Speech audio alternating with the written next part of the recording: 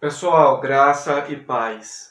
Essa é uma pergunta meio complexa para responder. Por quê? Porque muitas pessoas, não quero generalizar, tá? acabam levando para o lado pessoal, outras não conseguem vencer o orgulho próprio e outras de fato não entendem. É, faz parte. Né? Mas veja bem, se a sua teologia não é imparcial, ela é o quê? Ela é teologia, pode ser chamada de teologia, porque se você olha para um texto e você não consegue é, interpretar esse texto sem colocar o seu dedo, sem colocar a sua ótica, sem colocar a sua vontade, sem colocar aquilo que você almeja, sem então você está interpretando para quê e para quem? Você está interpretando o texto a bel prazer. Isso vai te adiantar, vai te edificar em quê? Em termos espirituais, práticos, não apenas teóricos, é, ilusórios. Né? Então a teologia tem que ser imparcial, sim. Existe teologia imparcial, sim. E existem pessoas honestas, ok? Pessoas que, que têm coragem de dizer que a teologia que elas ensinam não é uma teologia imparcial. É uma teologia voltada à ótica daquilo que elas aprenderam, daquilo que elas gostam, uh, da, da, denominação delas uh, e etc. Certo?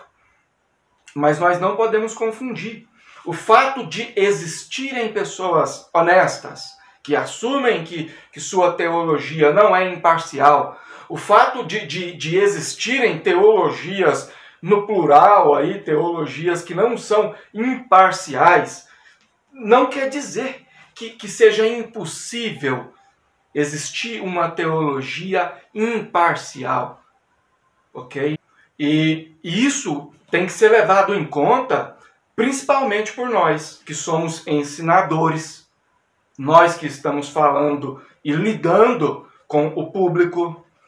Não é o que a Bíblia diz ah, lá em Tiago, no capítulo 3, sobre os ensinadores, o juízo será mais criterioso, né? Então, meu amigo, se a sua teologia não é imparcial, se você não consegue ler o texto e explicar simplesmente aquilo que o texto está dizendo, então, na minha opinião particular, com todo respeito, e conselho ninguém é obrigado a acatar, mas pode ser que ainda não seja a sua hora de ensinar, de lidar com o público. Não quer dizer que essa hora ainda não, não vá chegar, mas pode ser que ainda não é. Né? Ah, dentro do que eu posso observar, né, essa torre de Babel ideológica, barra, entre aspas, teológica e etc., foi construída em cima desse pressuposto de que não é possível uma teologia imparcial. Então existe a teologia do José, a do Joaquim, a do Manuel e, e, e por aí vai. Certo? Repito, o texto existe, ok? Existem regras de interpretação, existem critérios de, de estudos. O texto está aí. Se ele existe, e se existem regras, é porque existe uma interpretação. E você tem que extrair essa interpretação. Você tem que extrair essa interpretação de forma pura. Principalmente você que é ensinador. Porque a partir do momento que você extrai essa interpretação, você começa a, a distribuir, a passar isso para os seus seguidores, para os seus amigos, para os seus familiares, para os seus alunos, etc. E isso vai fazer com que o seu julgamento seja um julgamento mais. Entende? Então é preciso ser imparcial, sim. E é possível ser isso também. É possível sim. Às vezes a pessoa não quer largar aquilo que ela já aprendeu, porque ela já defendeu isso por muitos anos, ela já vendeu essa ideia por muitos anos, ela já ensinou isso para muita gente, ou talvez ela pode perder um cargo, ela pode perder um salário, ela pode perder uma amizade, ou sei lá. Então a pessoa não quer perder nada disso, então ela parte para esse lado de dizer não, é impossível, não tem como existir uma teologia imparcial, né? Então essa pessoa passa a defender esse pressuposto e cada vez mais, quanto mais esse pressuposto é defendido, mais a Torre de Babel aumenta. Mas nós temos a soteriologia X, a soteriologia Y, soteriologia A, B, R, L e tal. Né? E a tendência não é melhorar. Tá? Então nós temos que prezar pela teologia imparcial, sim. É fácil? Não. Não é. Você tem que abrir mão do orgulho.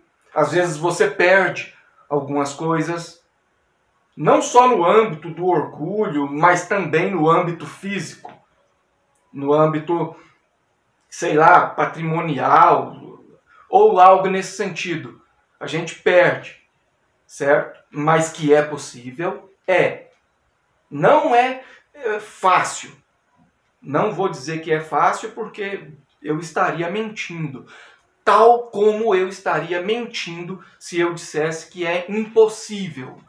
Ok? Não estou aqui para ser o aferidor, longe de mim, certo? Mas se, por exemplo, a sua teologia não é imparcial, se você é, não conhece é, uma teologia assim, se você não convive em um meio onde a teologia é imparcial, ok, te respeito, mas esse é um problema seu. Essa é uma situação sua. Você não pode pegar isso e generalizar. Dizer que não existe, dizer que é impossível, certo?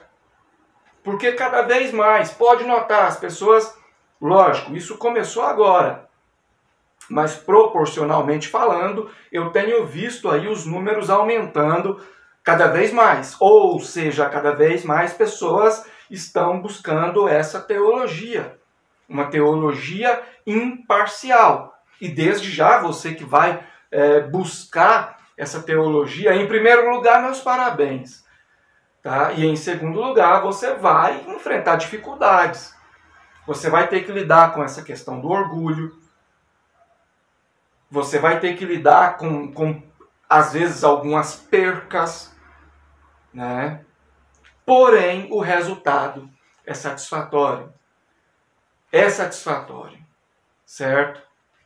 Então, reflita acerca do que foi dito. Repito, o texto existe, ok? Tem como você examinar e extrair do texto aquilo que o texto está dizendo. Ponto. Sem levar em conta a sua denominação, seu pai, sua mãe, uh, sei lá, seu cônjuge, enfim. Tem como. Faça isso. Se está ao seu alcance, se você tem condições, faça isso. É um conselho. Repito, conselho ninguém é obrigado a acatar, mas dizer que não tem como interpretar um texto de forma imparcial, aí não. Se você não consegue, ok, respeito. Se você não quer, ok, também respeito. Mas dizer que é impossível e que não tem jeito e que não existe, aí não. Aí não, certo? Isso é o que eu tenho a dizer.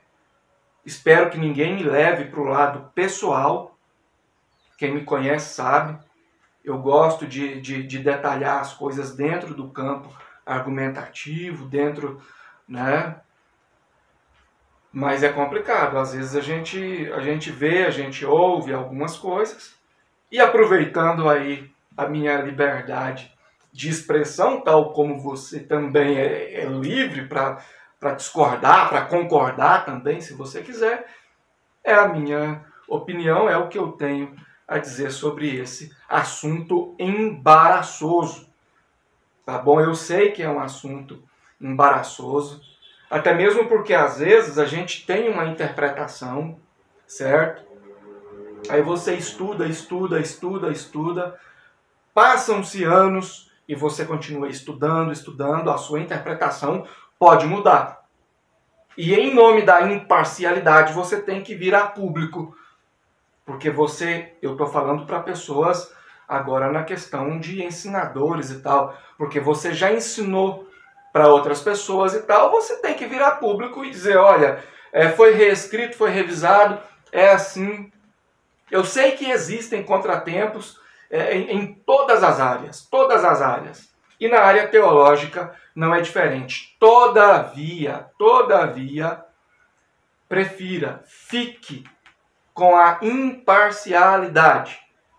Tá bom? Eu sei que muita gente não gosta desse termo, eu sei. Respeito o gosto dessas pessoas, só não concordo.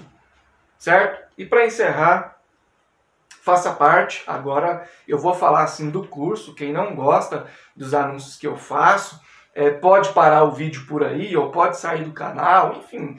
Eu respeito a liberdade de cada um, quem me conhece sabe, né? Faça parte do curso de teologia biblista que eu estou ministrando. É um curso 100% online, é, à distância, você pode fazer ele inteiro pelo celular. Não precisa ter computador. A nova turma vai começar no dia 21 de, aliás, perdão, no dia 6 de abril desse ano de 2021 e é uma teologia imparcial. Ok? Muito obrigado, que Deus continue te abençoando e abençoando toda a sua família. Até a próxima!